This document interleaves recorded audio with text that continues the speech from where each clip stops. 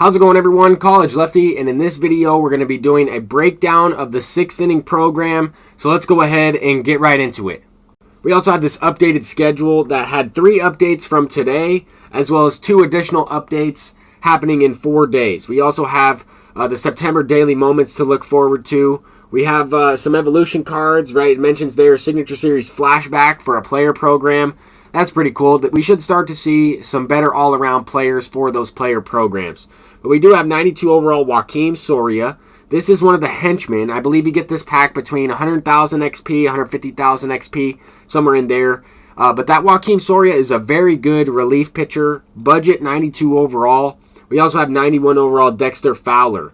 And this card's okay. I was expecting, you know, him to be better against lefties. He's got great speed that will max out at 99. His fielding's not the best, but definitely a good budget player, good milestone card for collections as well.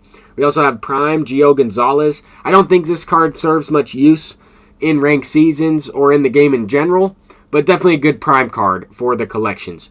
We have a couple finest cards. This is the MLB The Show Classic Pack featured in the sixth inning program. I believe you get this pack between 200,000 and 250,000 XP. I think that's the range that you'd be able to unlock this pack, but we do have Lorenzo Cain, finest version from last year, Patrick Corbin, relief pitcher, which may actually be usable. I think this card might be okay. Um, he doesn't have the best hits in K per nine, but he does have a very slow curveball. Left-handed relievers are tough to find in this game, and most of them are expensive, so that's a good budget player. We also have Aaron Nola, finest card from 2018. This card will not be very good in ranked seasons. I would not recommend using this card at all. However, we might need finest players for the upcoming collection, whenever that will be, right? Whenever the third stage of the Mookie Betts Mariano Rivera collection comes out, definitely need those finest players. At least that's what I'm thinking. But here we have Matt Kemp. A lot of people are saying that this is their pick for the sixth inning boss. This will not be my selection. I do not like Matt Kemp's swing. I think his vision attribute is too low to be usable on Hall of Fame or Legend difficulty. We do have Pedro Martinez added into the sixth inning program, and this is a great selection. I know the stamina attribute from the leaked tweet uh, revealed that it could be a starting pitcher. I thought they were throwing us off, to be honest with you. I thought we were going to get Rollie Fingers. They threw us off a little bit with the uh, silhouette picture they posted on Twitter, which I thought featured Mickey Mantle, Babe Ruth, and Tom Seaver. Uh, we didn't get any of those bosses in this program, but we do have George Brett. And I think this card is extremely good. I think this card's better than Matt Kemp, personally. Um, if I were to rank the bosses from best to worst, I would say Pedro Martinez, George Brett, and then Matt Kemp. But that's just my personal preference. We also have Signature Series Andrew Miller. This is the set 33 headliner card featured in those packs, and this is an endgame reliever. I don't think Andrew Miller has the most deceptive motion. I don't think he's the greatest left handed pitcher, but a pitcher with 125 hits in K per 9 at parallel 5 is definitely a pitcher that is endgame. Um, I know Josh Hader has a similar motion, kind of similar pitch mix as well. Um, I would be looking to try out a couple of those lefties if you haven't already. We do have Andrew Velazquez, good budget. Uh, shortstop kind of reminds me of Francisco Lindor a little bit. We also have Amed Rosario, another shortstop with more speed. He also is more of a utility player in my eyes. I wouldn't necessarily use that card at short with silver defense. Cal Quantrill, I don't know anything about this player. I have no idea what team he's even on. Uh, it looks like Cleveland there, but I, I can't really tell. It looks like a throwback uniform. Uh, Jorge Polanco, I know about this player, uh, and he's pretty good as well. Another switch hitter, pretty solid shortstop with a lot of power. I think this card is pretty usable. 96 overall tops Now player, definitely solid. But those are the cards we got updated in the game. We also had a few players go diamond. Um, I'm not necessarily going to focus on the roster update. I didn't make any investments. I'd rather hop into a game of ranked seasons.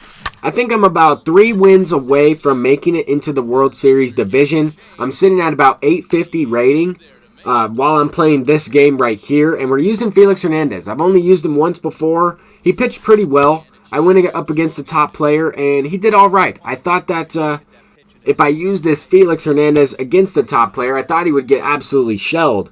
Uh, but he actually did a lot better than what I was thinking. So I put him back in the rotation. We, we replaced Shohei Ohtani with Felix Hernandez. So hopefully he has a great outing in this game. And we, we need to get some wins. I mean, I am I've been struggling. I've been really inconsistent at the plate. One game I'll, I'll hit well, the next game I don't hit anything.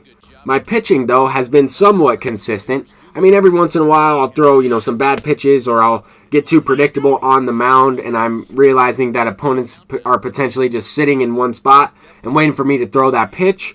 Um, but honestly, I have not been that great at the plate. So I'm trying to kind of break out of my slump. The last game of ranked seasons I played, I was able to score five runs in the first two innings. Here we're already in the top of the fifth, and we only have two hits combined.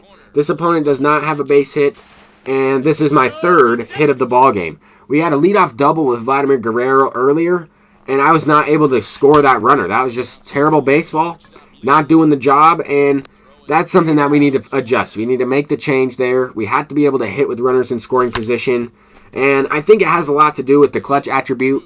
There's a lot of pitchers in this game that have extremely high clutch attributes. I'm also using a lot of hitters that have high clutch attributes, and those two things kind of rival uh, between the pitcher and the hitter.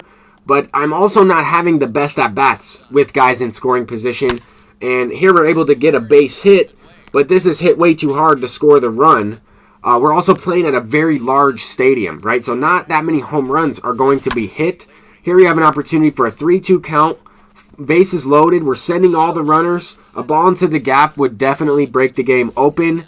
And I needed to capitalize on that last opportunity because this opponent brought in his submarine left handed created player as a reliever. And uh, yeah, that's going to be impossible to hit. I have faced a couple created players with this same exact motion throwing from the left side, so it's not it's nothing brand new to me uh, is still very challenging to hit. It's extremely difficult.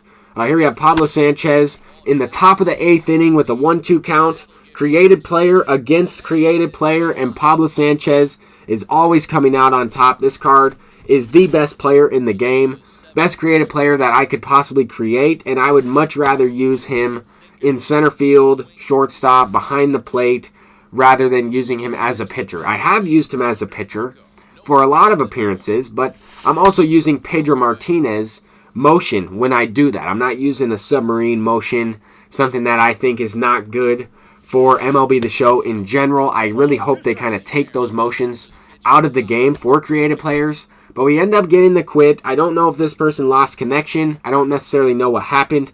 They did send me a message after the game on Twitter, uh, you know, saying good game, and I think the opponent got bounced from that last one. Just maybe had a blue screen error message. I don't necessarily know. Um, but I am looking forward to trying out Pedro Martinez. I think his motion is the easiest one to use with pinpoint pitching, so I think he's going to be very effective. I have seen some mixed reviews on Pedro, and I don't know. I think he's an end game pitcher. I think he's a top pitcher in this game, depending on what you're looking for. He doesn't have the cutter, which is, I guess, the one thing that you could argue uh, with that Pedro Martinez that could make him a lot better. And his other version, his 94 version, did have the cutter.